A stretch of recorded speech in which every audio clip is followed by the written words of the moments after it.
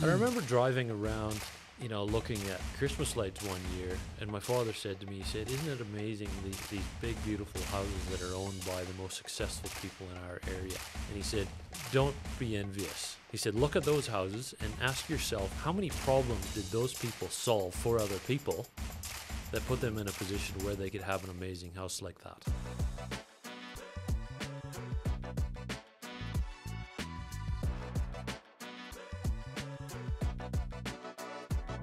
Where you've got difficulty, you've got an opportunity for people to come up with solutions.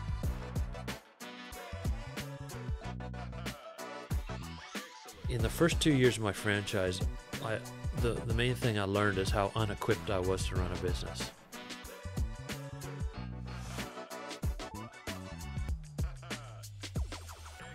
I think for you to have been as successful in your business as you have been, you obviously on a deep level want to help people succeed. 100%. And uh, I'll just tell you a little bit about my background. Yeah. Um, so some of the family va- family values that I was raised with are hard work. So it's it's honorable to work hard, Yeah. and it's honorable to uh, start at the bottom and learn everything on the way up. Yeah. And the opposite of that is something that we believe too. You know, if you get a business somewhere where the owner refuses to get his hands dirty, that's dishonorable. Um, like, uh, I suppose a building company that's run by a um, an accountant or a lawyer, we Mm. would say, well, that that's got obviously structural flaws in it. Mm. That person doesn't has never had their hands dirty on the building site. Yeah. So that's why I went through carpentry and worked on building sites Mm. um, because that that was the path. You start at the bottom and you work up. But the other thing that I was value that I was raised with is that um, you have to help other people. So to to become successful in life, most successful people end up helping at least seven other people become successful. That's what studying success stories will show you. Mm. Th- There's always a, a group of people that get successful together. It's never one guy that just jumps out. Yeah, it's a principle, right? It's a principle, and, and I remember driving around, um, you know, looking at, at Christmas lights one year, and my father said to me, he said, "Isn't it amazing the these big beautiful houses that are owned by the most successful people in our area?" And he said, "Don't be envious." He said, "Look at those houses and ask yourself, what did those? How many problems did those people solve for other people?" That put them in a position where they could have an amazing house like that. Mm. So that was the attitudes and the values that I was raised with. And so when I got into uh, Australia, married, you know, I married my Australian wife, found myself here Mm-hmm. where I was past that Mm. stage of life where you're single and you don't really care about money too much. Mm. Suddenly I was married, it all Mm. it all was important. All of those things came back and I was like, okay, I'm going to learn what I can about construction. I'm going to try to get better at it uh, a little bit every day. And uh, all of those values came back. What can I do that'll help other people and in a way that I'll just have to trust the system that it'll end up coming back to me? Mm. So franchising is really good for that because it's a long journey of setting up things and putting money into it to set it up and, and build the systems and buy the software and create the the the uh, documentation and the training and the branding and the plans. Mm. It's a it's a big investment for the first probably three years. Uh, you don't you don't get anything back. I, I actually lost money. I had a building company that funded this Mm. franchise development. Mm. And I would expect expect Mm. you found the same thing setting up your businesses. There's stage where the, you have to go through uh, Mm. an expensive, long drawn out setup period where the cash flow goes the wrong way. Mm. Yeah, it's funny, point. right? So, some people see, you know, when you, they, they, they don't see the pain, the years of torture, right? For you to get to the point where you are making some money, you, you can divest and invest in other things and help other people, right? Because you can't help anyone if you're broke, right? Look, you can to a point, yeah. but I mean at large scale, you can't, right? So Yeah. I remember saying to the GM, like, how do we give away a million dollars worth of programs to people who need it? And the only way we can do that is to generate money, right? To build them, to market them, to get them out into the hands of the right people, right? So uh, I think some people miss that, right? Uh, and that it's that tough journey, right? If, if I was to go back, so when you were talking about your father, you know, about the Christmas lights, and, and he lay instilled that that principle or that value on you. Were you here in Australia, or were you? That was in Canada. That was in Canada. Yeah. So when when did you when did you migrate to Australia? What year was that? Uh, so I, I came over in around 96, 97. I, I finished um, two years of study in construction engineering technology at the Mhm. Northern Alberta Institute of Technology. Mm-hmm. And I came out of that. Um, now, I was not a top student. I find the academic scenario pretty tough, Mm. um, which is something you hear about with a lot of um, entrepreneurs. Yeah. They, they don't do well in that environment. So I really struggled. I come out. And I actually went through a period of time where I, I was quite unsuccessful. I, I just Yeah. couldn't find the way forward in life. And I actually found myself one day out there, Lawrence, on a building site in Calgary, Alberta, Canada. yeah. It was minus 35 degrees Celsius. Shit. And I was shoveling snow off of the floor that we had nailed down the day before Mm-hmm. And my nail gun kept freezing up because what happens in those cold temperatures is that the air compressor condenses moisture out of the air Yeah. and it causes your nail gun to freeze up about Yeah. every half hour. Yeah. Then you trudge through the snow back to your um, Yeah. Yeah. Yeah. Yeah. your your trailer, open it up, you unplug the air hose and you pour methylated spirits into the line. Yeah. Plug it back in, go back to your nail gun, blow the alcohol through the line, Yeah. and then you can use your nail gun for another half hour. Yeah. Right. And I, I really felt that I'd done this In the old days, we used to use hammers, right? Well, you remember can do that too, but it was it's yeah, I know what you're saying. So Yeah. Yeah. Yeah. so I hit this point where I, I was going through other the same stuff that a lot of people go through in their early twenties where Yeah. you know, you get your romance life and that's not working Yeah, out very yeah, well. and, and so I kinda went I went to my uncle who owned a travel agent and I said, Look, I got this paycheck here this week. I don't really have any bills to pay. How Yeah. far where could I go with this paycheck that's warm? Wow. Is that right? I got really cold last week, and I kind of yeah. so um, yeah, it was un- Uncle Don. So he said the first thing he said to me is, "Where do you where do you think?" I said, "I've heard about Australia. I've heard it's warm there. That's about all Yeah. I know." Yeah. He says, "Well, have you told your mother about this?" That was yeah. first thing he That's a said, good question. So, anyways, I said, "Well, I'll get around to that." But Yeah. he yeah. said, "Well, where do you want to go?" And I said, "Look, I, I don't actually know the names of any of the cities over there." Yeah. He said, "Well, I guess Sydney's the the big one. So how about we buy you a ticket to Sydney?" Yeah. and that was in 1997. And I knew a few Australian people in Canada. Um, I had a couple uh, phone numbers written on a scrap of paper. Yeah. Um, it was just a, a fellow that I'm still friends with. He was uh, an aircraft engineer, and uh, the other phone number the guy gave me, strangely enough, was for the lady that ended up becoming my wife. Wow. Really? Yeah, it was pretty weird. That's super interesting. Yeah. And, and how how old were you when you when you came here? What year was that? So that was around 96. I might have come over like in December of 96, I think. Yeah, something right. Like that. And so 1990. So I met, uh, I rang these two phone numbers and they're like university kids. They're like, oh, Yeah. we're having a party. Why don't you come? You can throw your sleeping bag down on our floor for a while. And Yeah. so I hung around with them for a week. I actually met my wife and she was going out with some other guy. And Yeah, um, right. she was just really nice to me. And Yeah. I stayed in touch with her. And Yeah. I bought a motorcycle.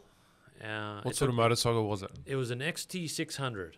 Yeah. and right. It was so the a worst. dirt bike. Was that a dirt bike? Yes. Yeah. Yeah. Yeah. It was the worst motorcycle to ride around Yeah. Australia because it was black plastic. It's a Yamaha, right? Yeah, uh, yes. Yeah. Yeah. And every time I stopped and got back on it, the the um, hot black plastics would burn Yeah. skin, and so Yeah, I I set it up for touring. I I stopped at a, a fella's workshop and I welded a piece of reo to the rack on the back and Yeah. bolted my backpack on it and Yeah. Great.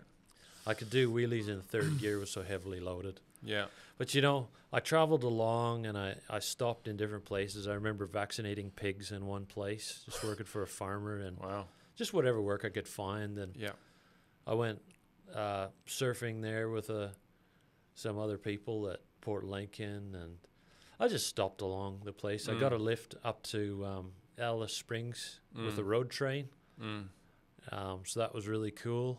And, anyways, I just do things like that, and then I um, got on this bike and I headed across to Nullarbor. And what happened is, I don't know. You, I, I'd, I'd reckon a farm boy like yourself would know all about bikes, but the XT 600 had a unique back rear wheel structure where the spoke came up and did a 90 degree turn where it hooked into the hub, Yeah. Okay. Yeah. and that because I had the bike loaded up with luggage and it wasn't Yeah. really meant for that, Yeah. the spokes were were breaking off at that bend, Yeah. and then the centrifugal force would drive them through the tube. Yeah. Right. So I was halfway across the Nullarbor. I was at the Balladonia station, and I was about 100 kilometers off into the desert after that. And the spokes broke and shot through the tube. Yeah. and, you know, I remember pushing my bike into the um, bush and hitchhiking back, and then getting a tow truck, coming, getting the bike, ordering spokes. Yeah. Right. Anyways, I went all the way around Australia, drove drove headers. I actually seeded wheat crops in in WA, and then I drove headers in North Queensland. So you're on your own, right? All of this is just your you're just on the bike traveling from place to place. Yeah. Yeah, and Okay. I, I, Yeah. I early twenties. I think you'd be super early Yeah, twenties, right? Yeah, t- around 24, I think Yeah. 25, something around there. It was a great trip, but by the end of it, I sort of got this sense that I was meeting a lot of people that were my age, had Yeah. a lovely little wife, a couple Yeah. of kids already on the way, Yeah. and I thought I, I really need to get myself sorted here, you know. Yeah. Yeah. Okay. Got it. Yeah. and I, I didn't really plan it out, but I um, come back and I basically started going out with my wife four days before I had to go back to Canada, Yeah. and we were like, you know, th- we've got a, this is a connection here. Mm. Um, so I went back. I was back on the tools again, and Mm. she jumped on a plane and come over, and then we got married, and so I ended Sorry, up hang on, hang on. Let's backtrack. So you went back to Canada. She got on a plane and went and and Followed flew and, and flew to Canada. yeah. So you guys are living there together. Yeah, well, we well we didn't live together. We're a bit more old fashioned than that. Lawrence, Yeah, okay. So she um she come over and she worked at. She was actually an architectural draftsman. She had just Oh, finished right. studying architectural yeah, yeah. drafting at Kogarah TAFE, Yeah. Okay. and so we uh, she come over and got a job with an architect there in Calgary, Yeah. and uh, then we got married and.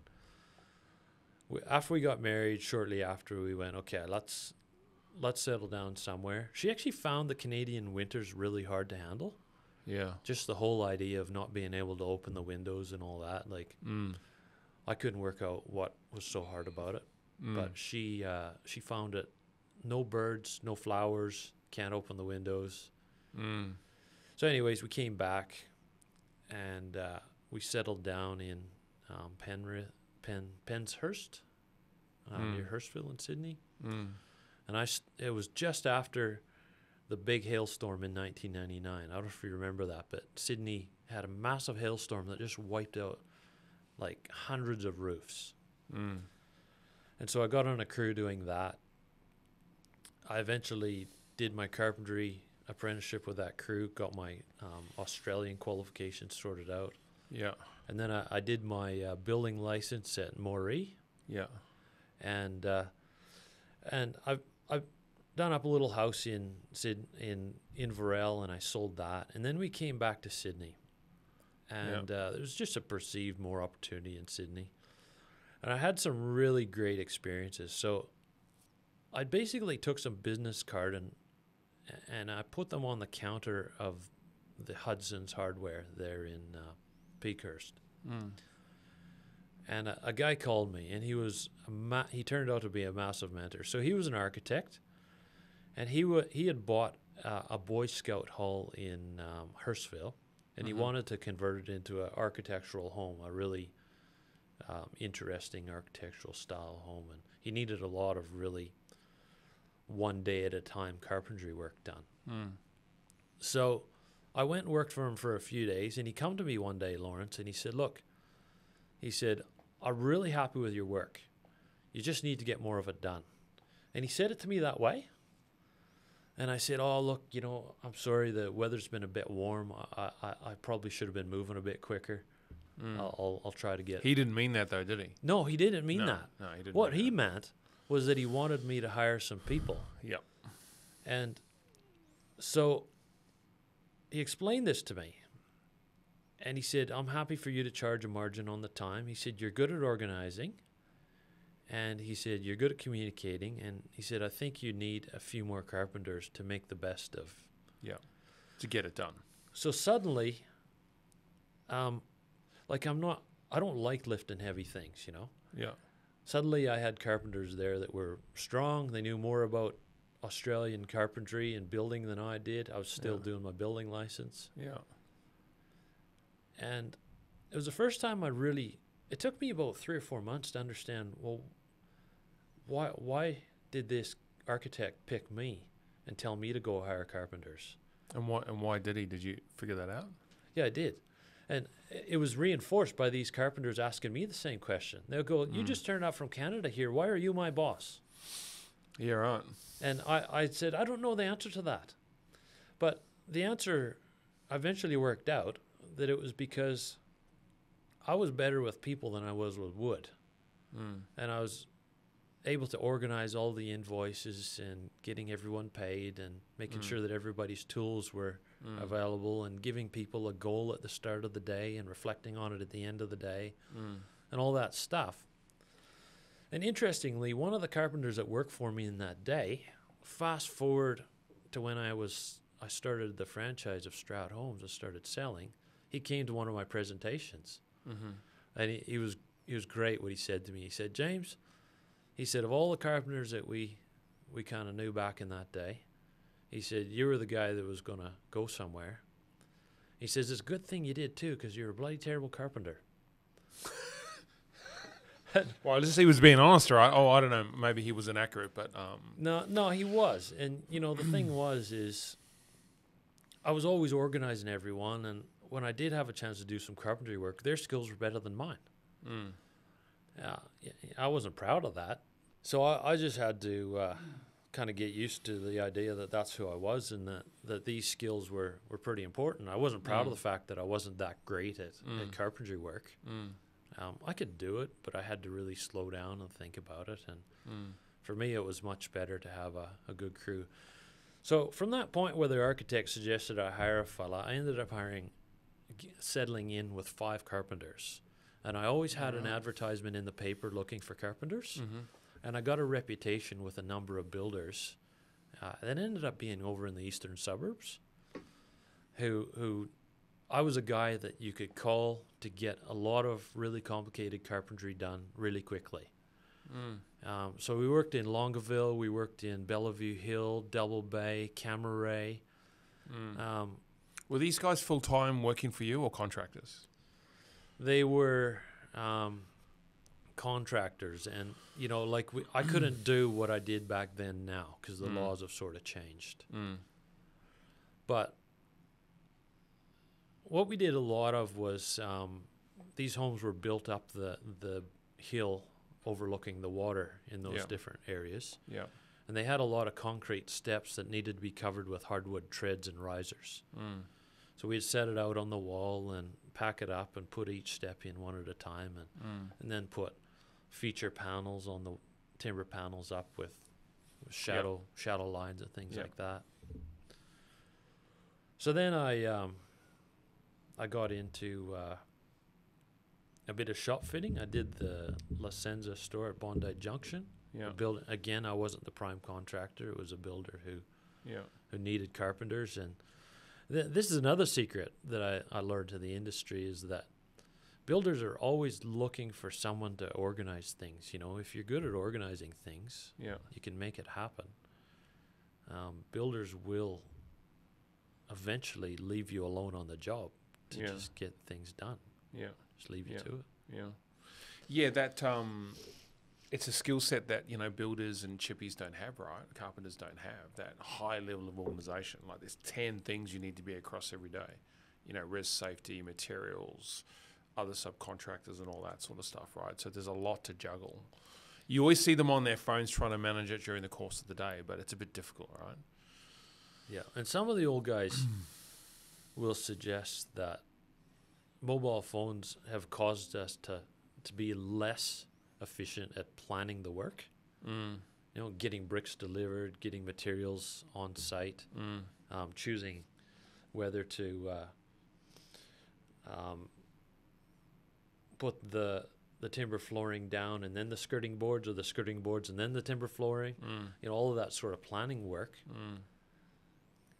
it's you know it's possible that we're because of mobile phones people just tend to ask the question rather than becoming good at planning and, and Mm. thinking things through Mm. what do you think Yeah, I agree with that. So where did that come from though for you? Like is it like did you learn that at uni? Was that instilled with by your father? Is it organic like is it natural for you to do that?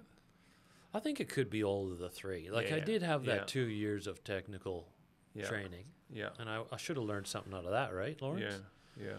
Um, my dad was a pretty organized guy so i would Yeah. have learned some stuff off of him and Yeah. What and what did he do? Farmer, right? Uh, no. So dad, um, dad built some houses. So when I was Yeah. young, him and his brother were building houses Yeah. and uh, selling them spec basis. Yeah. And then Yeah, after that, he was doing more of. Uh, he got into succession planning, which is. Um, dad was able to connect well with farmers and, and Mm. people like that. So he Mm. was. He kind of found this little niche where he would help farmers um, pass their farm on to the next generation and do all Mm. that stuff. Mm. Mm. Yeah. Okay. So yeah, look, it, I think it can be um, all things, right? Um, and I think uh, I think organisation can be hard for people because it's it's all about discipline, right? Um, and finding those habits that reinforce that organisation continues to to be consistent, right? Because you can be organised on Monday and it's a shit fight on Friday, right? That can happen. And you know, most if you talk to uh, a builder who's trying to build maybe twenty or thirty or hundred homes a year, they'll all tell you the same thing. It's Mm. much harder to find people to manage the people that do the work Mm. than it is to find people to do the work. Mm. Mm. Yeah. Okay, so you've been here for a while. Your your um, uh, one of your clients identified an opportunity um, that opened a doorway for you to see things differently. So you went out and started employing people, right? And Yeah. started growing your business. Yeah. Um, and then people saw it. They started saying, "Hey, let's go see James. He can probably help us out with this." Yeah. So, so what sort of happened after that? And, and and sort of how old are you now when you're when you're in the midst of building that business? Yeah, so I I'm getting up to probably around 28, something like that, and I'm having my first children. Wow. So it happened pretty quickly. Um, yeah, 28, getting closer to 30. Mm. The the next thing that happened in in that whole uh, chain of events was I started. So I, I think I left off. I was at Bondi Junction fitting out a shop Mm. there, the La Senza lingerie brand. Mm. I don't know if it's still there or not. It was Mm. a beautiful shop. We had to work around the clock. One thing I Mm. took away from that experience Mm. is that if you work on residential construction, you get to work at the daytime and sleep at night. In commercial, you don't. Commercial, Yeah, it's that's right. almost the opposite. So it, it has to be Oh, it's because they're trading during the day, right? yeah, they're trading during the day. You end up doing a lot of work Yeah, in the yeah. middle of the night. Yeah, yeah. So, anyways, uh, the con, the kind of the principal, the guys that were organizing it there, the called me and said, "Look, we got a job for you in, in a little town in Queensland." Mm.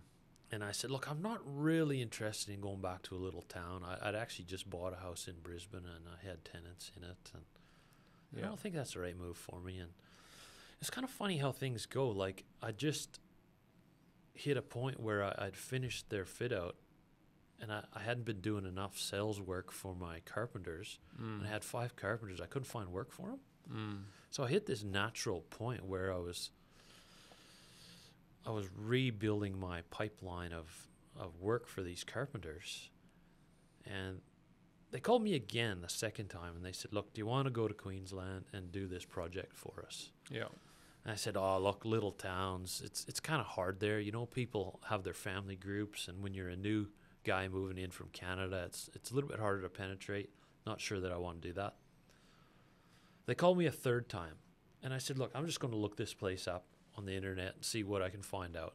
Mm. So I saw that there's a lake there. You can do water skiing. There's some mountain climbing Mm. that you can do, and uh, so I said, right. Um, there's a job there. I'm going to go up and I'm going to do this project. So we ended up building a uh, clinic with. Uh, it was basically an old Queenslander, which we raised up on high columns, uh, and the local doctor uh, did a contract with us to build in the bottom of it. Mm. So it was a doctor's surgery on the bottom, and um, it's still there, functioning. I've been over there for routine appointments.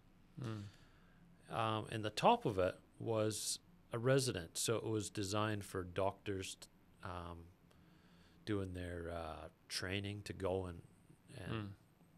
live upstairs and come downstairs and get some doctor apprenticeship time. And I'm a building guy, so I don't even know Mm. the word for apprentice doctor. Mm.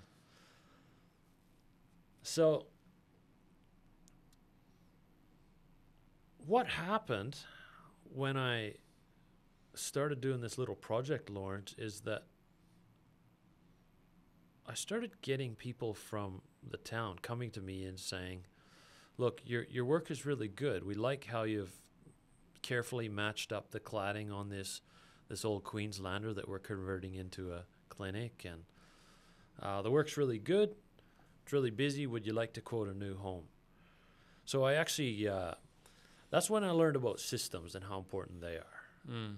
I actually took a couple people up on on trying to win the contract to build their new home in the area, and uh, I just doggedly got a notebook and started pricing all the different parts of this this home that I had been asked to quote Mm-hmm. and I, I had zero systems. So I don't know if you ever quoted a home with zero systems. You end up staying up till two o'clock in the morning, Mm.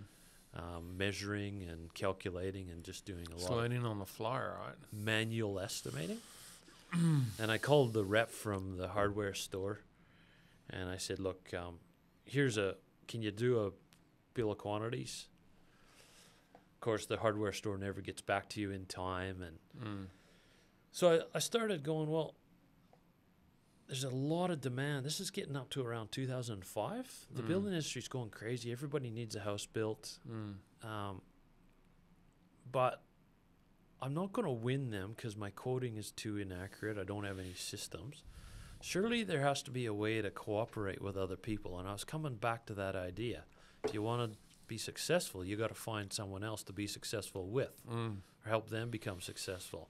As I was making all these moves to get where I've got, I was utterly terrified. And, you know, the, the next stage, I actually ended up that I was quite good at, at making babies.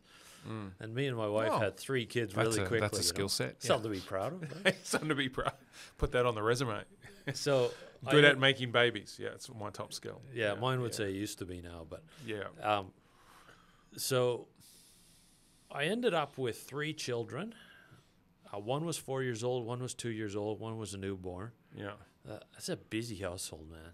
Like, you know, Yeah, that's super busy. it's super Yeah. busy. And yeah.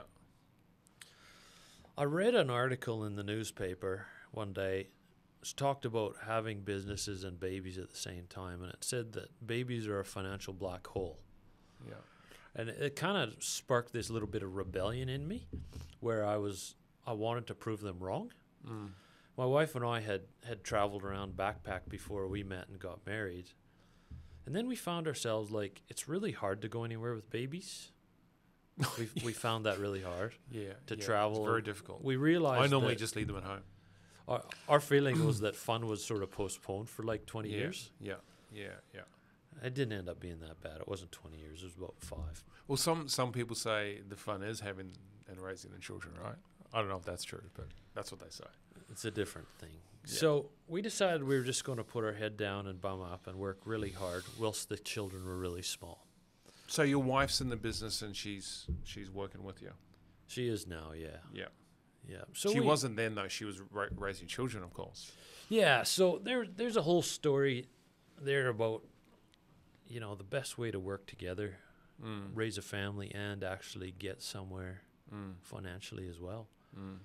So we yeah, got it's, it's pretty difficult, right? I think there's a very tricky. there's a lesson for a lot of business owners. Like how do you how do you manage a marriage, manage a family, and manage a company or a business? Right, it's very difficult. Yeah. Yeah. So we uh, did this clinic, and then we started doing little projects around town. A lot of the projects were Queenslanders that needed to be done up. One of the things that a lot of young builders will work on in this area, Lawrence, would be uh, houses get removed, like moved out to um, maybe uh, an old house will get picked up by Mackay Brothers or something like that Yep. and moved out to another area, Yep. and then the builders have to stitch them back together. They, they Mm. literally cut the houses in half to move Yeah. them. Yeah. yeah. So I did a bit of that. Yeah. But one thing I found, Lawrence, was that again, I just did, I found that I was different from a lot of carpent a lot of carpenters in that I was always worried about my hearing. I'd wear earplugs, and I got made fun of for that. Yeah. And I never wanted to breathe too much rat droppings and asbestos and lead paint. And I was always Mm. trying to really get that out of it. Mm. And I played around with vacuum cleaners a lot to try and capture these things while I was building. Mm. But I just found it was quite hard because a lot of carpenters just weren't on the same page as me. They just weren't interested in investing Well, the it- time. it's because that's rare, right? Like I, I, you know, I worked a bit in construction, and no one was thinking like that.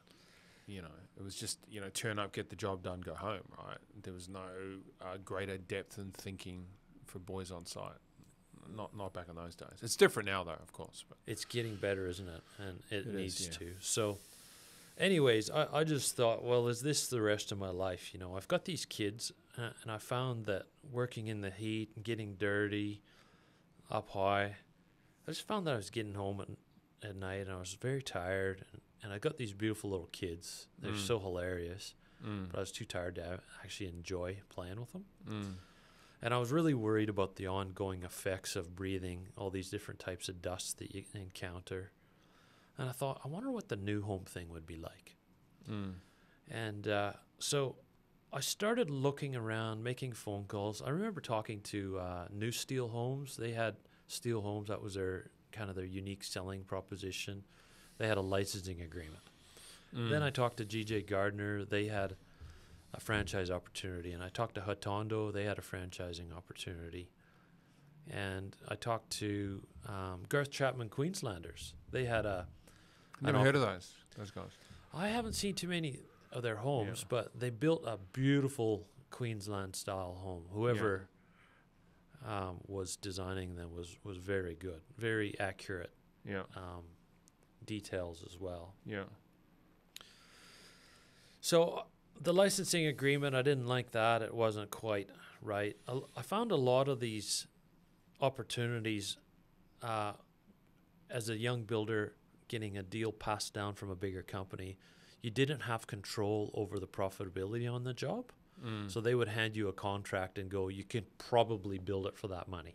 mm, And I just didn't trust that they would do the estimating correct. So I never went ahead with anything like that. mm, Um, and there's still a few of those operating, and I, I would encourage any young builder to stay away from that. Where Mm. if if someone's handing you a contract that you can take or leave, and you haven't done the estimating on it, mm. I mean theoretically you can check it over, but I don't know if that's really possible. It's kind of a trap. So why would I they do that? Is that because they had preferred supplier agreements with suppliers and secured pricing at a certain rate? Was it, is that? I can't tell you, but uh, basically they had a central estimating thing who would do a bill of quantities, calculate what they thought would be required to build the home, Mm-hmm. and then they would put it together in a package with the plans and then offer it out as a pre-priced job to various builders. Mm. The problem is, is if they got it wrong with it when they worked out the Yeah, pricing, hundred percent. you're the one that's Yeah, you end up with a baby type yeah. of thing. Yeah. So yeah. I, I and I you re- already have three of them, so you don't want any more, right? So, yeah. So I, I rejected it on that basis. Those those particular opportunities. yeah. Um, I looked at Hotondo and GJ's, and really back in the day, I just thought um, GJ's website was slightly better. And one thing also at that point is I is I felt like I chose the one that set the bar the highest. Yeah. I mean, if you're going to hire a personal trainer, Lawrence, to, to help you get fit, you really want to go with the guy that is going to be the toughest with you and not Yeah. take your excuses Mm. and make you the best you can be. Mm. And I felt that they were the ones that would do that for me at that point. Yeah. So I got in there and the first thing I found when I when I went to my first franchise conference with GJ Gardner was that I was a little bit different than the rest of the builders. They tended to be, you know, 15, 20 years older than me. And they Oh, tended really? to be a lot more financial. Mm. That like they had basically got themselves set up in life. I was barely scraping enough money together to start the business. Mm. And So you you had purchased a franchise at this time? Is that what you're saying? Were you in yes, GJ's? yes, Yeah. Okay. I, I chose GJ. I went ahead and bought it. yeah. Um, Yeah. I remember the day I bought it. I I had coffee with the representative that I was speaking to, and I um, went home and told my wife we needed to write a check for ten thousand as a deposit. Yeah. And I got in a lot of trouble because I didn't sufficiently consult with her first. I was just about to So ask you that. I said, There's another, did she know that was coming? yeah. Um, So I've found over the years that um, I've made a lot of errors not consulting with my wife enough when I make Yeah. decision things, and I think I've Yeah. got better on that because I've learned the hard way. Look, I, I, I think that's entrepreneurs in general. I'm guilty of that too, right? Like, because you just want to run and move forward and make decisions as fast as possible. Yeah, So, um, and then sometimes you say, well, I'm going to do all the work anyway, so I'll just make the decision, right? yeah, But yeah, I guess it is a partnership to a point, right? Because she is looking after three kids. But so there's a lesson for the kids out there. Uh, Yeah. Consult with your partner. that hundred percent. That's what that's the moral of the story. Um, Yeah. And when we're now in this current day and age, I talk to a lot of young builders uh, who are considering Stroud, and I say, now, we ideally we have when, when we present the business opportunity, we have the partner, the wife there as well, mm, and uh, mm, answer all of their questions. yeah. So I went ahead. Um, so in the early days, I was still finishing off some renovations. I had two sets of clothes in the in the Ute. I would put on my King Gee's, go help the boys lift up a beam, give them some Yeah. directions for the rest of the day, Yeah. and then drive to the office. And my secretary would be calling me saying, "Look, there's someone coming in at ten. They want to talk to you about building and getting a quote prepared." Yeah. So I would get the dust off me and Yeah. put on my uh, my uniform and some some clean pants and, and some leather shoes and take off the dirty old boots and, Yeah. and go in and Yeah. that was a real motivation for me to try to become good at selling homes and getting my business going was that I didn't have to carry two sets of clothes in my youth every morning Yeah. and I could stop doing the renovations and just build new homes. Yeah. Yeah. Yeah. So here I am. I, I'm a, a fresh import from Canada. I've been around for about uh, in Australia for about what would that have been? 10, 12 years, do you Um, think? 10 years? Well, it was about five years since I, seven years since I moved over. I'd say somewhere around Yeah. there. yeah. And uh, So all of this has really happened in quite a short time frame because that's not a long time, really.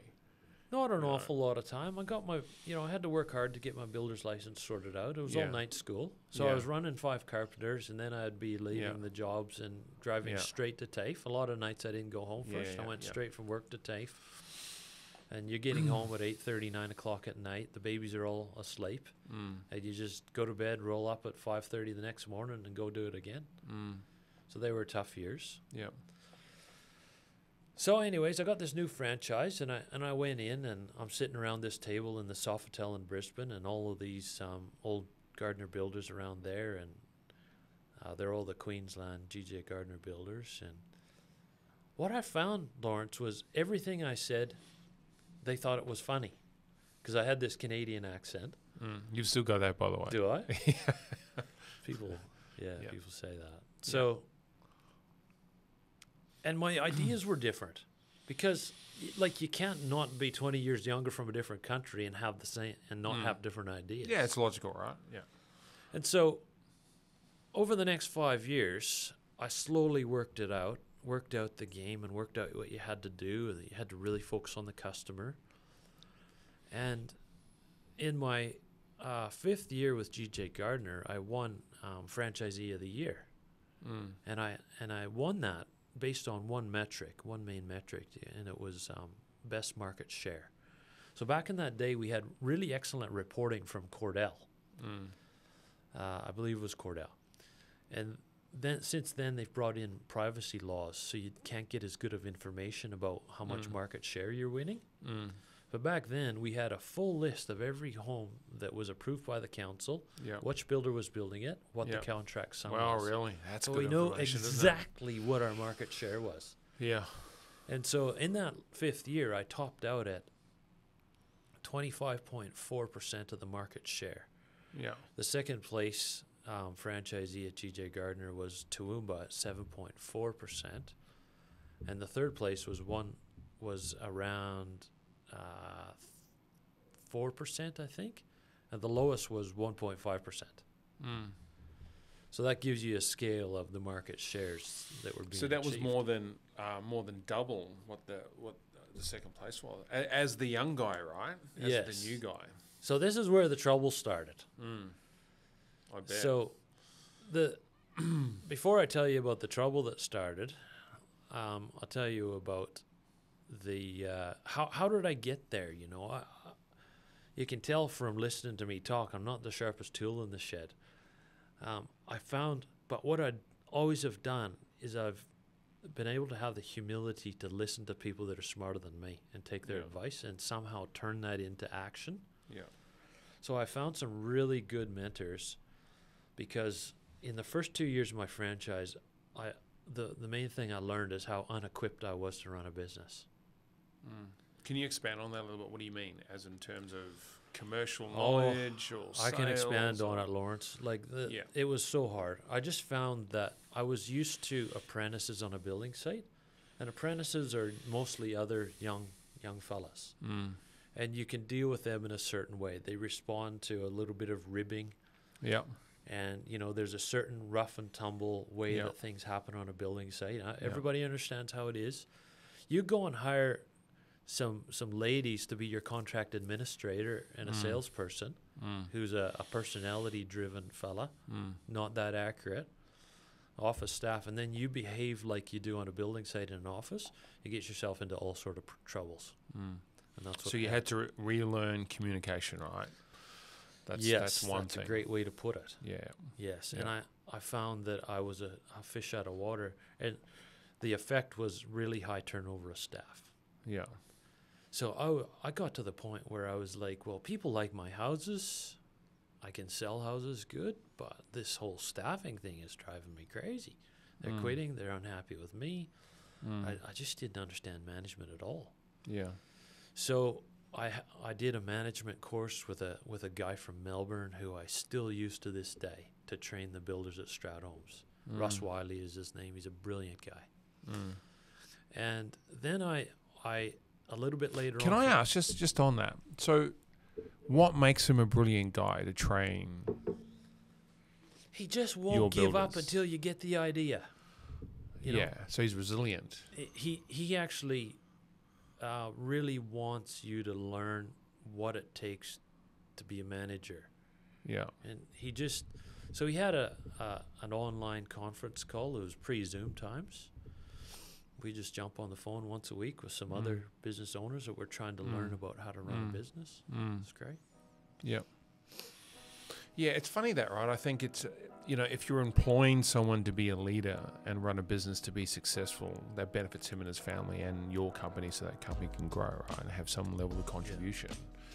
The data that's put in front of them when you train them is so critical to get that right. Because, and here's the thing everyone's different, right?